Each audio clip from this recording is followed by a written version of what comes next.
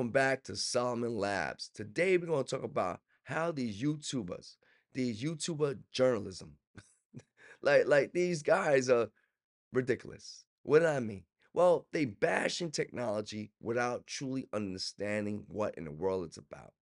I'm talking about people like CNET, The Verge, Marcus Brown, um, Sam, Nothing But Tech. You get my point all these guys, it's the worst product ever. I don't know why. Like, what are you talking about? It's the worst thing since bacon and cheese. And by the way, bacon and cheese ain't that bad. I don't eat meat, but it still smells good. I digress. But nevertheless, it's crazy. Like these guys never ever built anything in their life. I'm talking about tech wise. They never did it. They never dealt with truly designing a robot. They never dealt with truly building a product. They never did it. Here at Solomon Labs, that's what we do. So we understand the process. We understand what it takes. We understand the quality of process. We understand the, the time it takes to develop a product. These guys know nothing about that. So all they do is being an end user, being a consumer, being uneducated to the process and never been a part of the process, comes in and criticize everything, says the worst thing ever since mankind.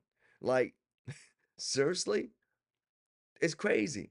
And and I say that, and I say that because what's happening now is that a lot of these people, a lot of them coming on YouTube saying, oh, why they just regurgitating what the last guy said, what the most popular guy said.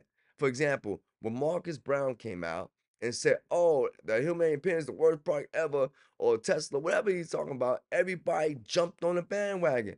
Oh, yeah, yes, it is. Some of them don't even have the product in their daggone hand.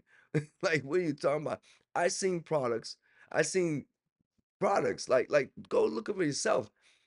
Marcus Brown talked about, for example, Tesla truck. He makes his his his, his you know his his so-called analysis on it, right?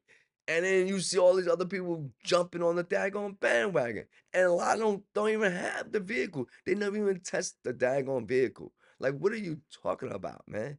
Seriously. Did t- had Marcus Brown built a truck before? No. Have he ever sat there and designed a robotic system? No.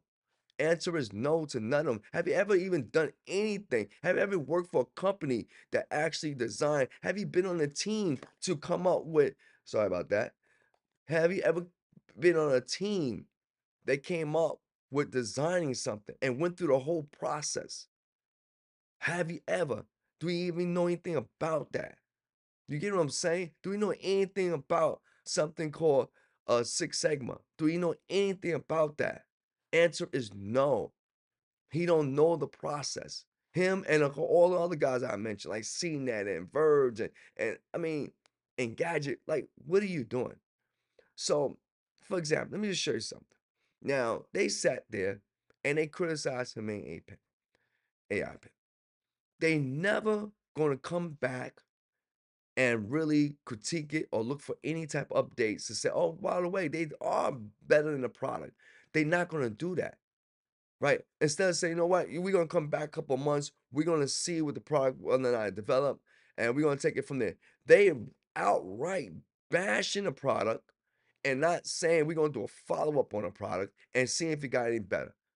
Now, there's been months now, and you can check it yourself they never came back and said, oh, by the way, Humane uh, AI Pin, oh, they making a lot of updates. Or Rabbit R1, yeah, they, they made a lot of improvements. They're not going to do that. They move on to the next product. Why? Because this, for them, is just entertainment. But unfortunately, for a manufacturer or producer, it can be a it could destroy their whole business. And that's what they don't get. This is why I don't announce the type of products I make and I sell I don't announce them. Why? Because this way I don't have to deal with idiots and stupidity as these guys are. I don't have to deal with that nonsense. You know what I'm saying? So I don't talk about what I make and what type of products I'm coming out with, anything like that. I don't put no name to it. So all you know, you probably buying something I made and you don't even realize you're buying it. That's how it goes, right? Because we can't have these these midnight guys coming through, uh, Johnny come late, never never been a part of nothing, not educated to the tech world, and just because they because they're what they're a nerd, they love it, "Oh, I love it. I, I have been doing this for 10 years, but I never built nothing." Like like, let me ask you something. I know I'm going. I got that. But this stuff like this gets you frustrated, especially from a producer manufacturer perspective, right? Here Solomon Labs, you notice we don't put out a lot of videos like that. Why? Because we don't have time to just throw out videos every day because we actually got to make stuff and build stuff and you know, you get the point. But let me ask you something. Imagine you being a real estate agent. And I want you to think about this real quick. And some of you out there probably are a real estate agent, or you are, uh, or you are you sell cars or something of that nature, right? Right? Or you buy, or you got Mercedes Benz, whatever it is, a house, a Hyundai, electric car, whatever you have. Let me ask you, or you, or you might be a doctor, you might be in the medical field. Let me ask you something. If you, for example, take something which, which we all correlate to, pretty much. Most of us, you know, relate to at least.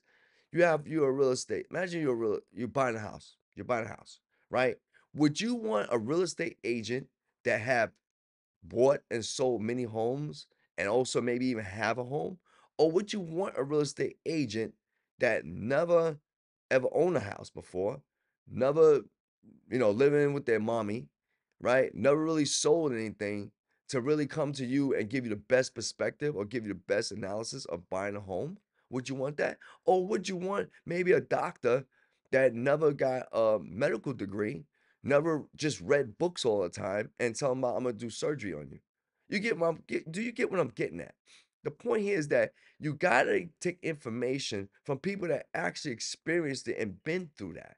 You get what I'm saying? Like these guys, the Marcus Brown, the CNET, the Engadget, all these guys are just a bunch of journalists. They're a bunch of tech gurus, as they want to call themselves, but they really just they just they just uh, fanboys of technology. That's what they are. They're literally fanboys of technology. That's no good. Because now what happens, you give people the wrong information. It's just no good. Now, with that being said, I'm going to show you something. Here's Humane iPad. Here's the Humane. Can you, I don't know if you can see that. Yeah. So this is the Humane uh, website. And you can see there, I hope you can see it. It says a change a log. What they done was they have done a lot of improvements. They have added uh, the latest uh, ChatGPT 4.0. They have uh, upgraded some of the stuff from Gemini to Gemini 1.5 Flash. They have done a lot of software improvements, right? So, where's the Marcus Brown, the CNET, the Engadget, the Verge, the in Where are these so-called tech guys, Google, everyone call them, where are they? They're not even going to tell you that, oh, by the way, they updating the technology. They're not giving a follow-up. They're not going to do it. And that's a problem because now you don't even know you doubting the product that might actually be suiting you and could be beneficial to you. Get what I'm saying? So here's uh, Solomon Labs. I just want to put that out there. You got to be careful about who you obtaining information from.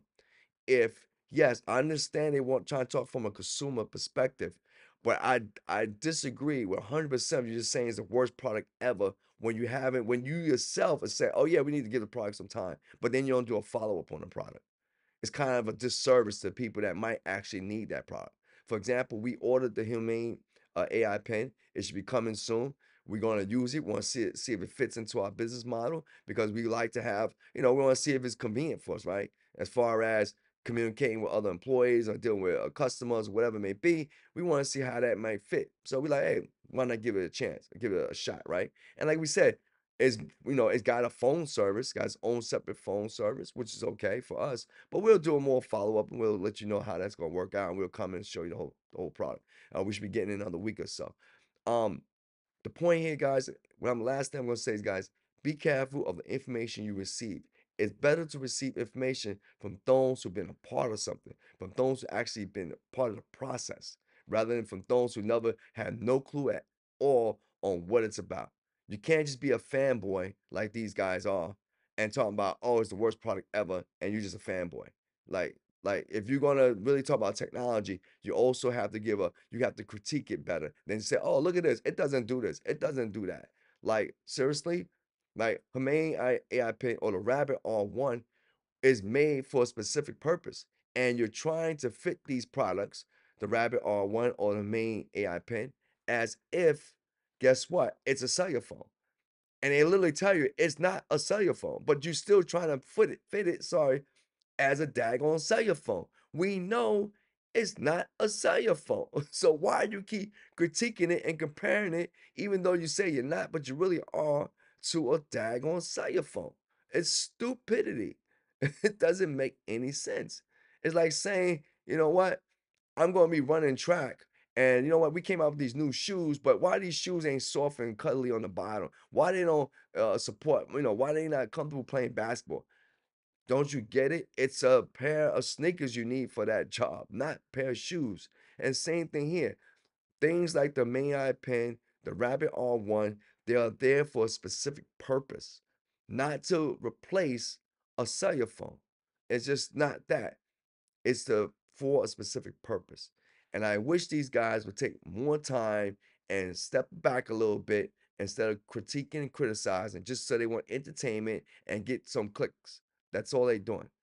Anyway, here at Solomon Lab, we'll be back. We got a lot of products to go over, review. As you see, we are a business. We do build and create stuff. So we really don't have time to put out videos like that every day and every week. If you notice, we don't put out videos like that because we really have time to do other stuff. But we do reveal products that we try to see if it fits.